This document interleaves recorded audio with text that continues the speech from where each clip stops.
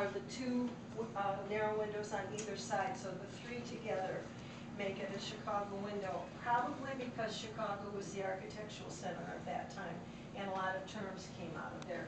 Now, if you were going by here at night, um, and there was an event going on, you can see figures, but not details. It's almost like you're looking through the water in a fishbowl. It's just interesting, the way it's situated, and then the way, you know, how far back from the street we are. Was the shade there originally?